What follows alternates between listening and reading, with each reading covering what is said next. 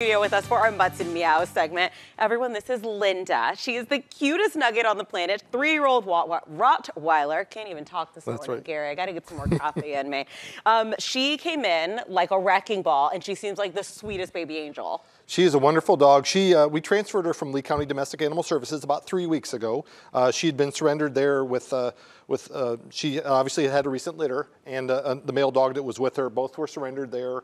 Um, we, we transferred both of them to us, and the, the male got adopted pretty quickly, and now it's Linda's turn. And wonderful dog, uh, 60 pounds, so kind of a small Rottweiler, housebroken, likes other dogs, walks well on a leash. Just a really wonderful dog. Oh, fabulous. Have you seen any reticence for people to adopt Rottweilers in general from the shelter? She seems to have a really good temperament. Yeah, I think they're they're actually a very popular breed. So um, you know, as long as again, like any dog, as long as this big, as long as they're social and friendly. You know, again, you know, a big Rottweiler, you want to make sure it wants to be your friend. Sure. And so, uh, so we have a great behavioral team and a great volunteer group that uh, socialize them. So uh, when we when we put an animal up for adoption, we're confident that it's going to be friendly in your house. Okay, fabulous. And was she more of a cuddle bug, or like is she probably going to do some running around? She doesn't seem to be overly energetic, so she's a, a, again a very good cuddle bug. Likes her belly rubbed. Likes to go for walks, but uh, again, not a uh, for three years old. She's not a very hyper dog, which is really good. That's awesome. Yeah, because my dog is wild and crazy still, and she's about three.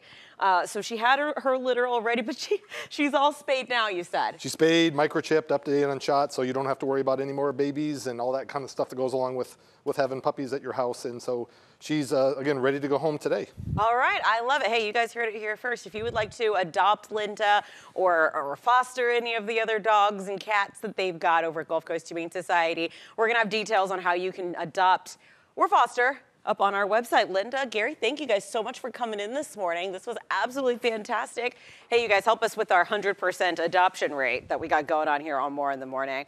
Uh, before all that, though, something's happened with More Explorers. What happened? I don't know. You're gonna tell me. Well, you made that sound. Something's happened. Something's going on. They've been out there enjoying pizza because why not?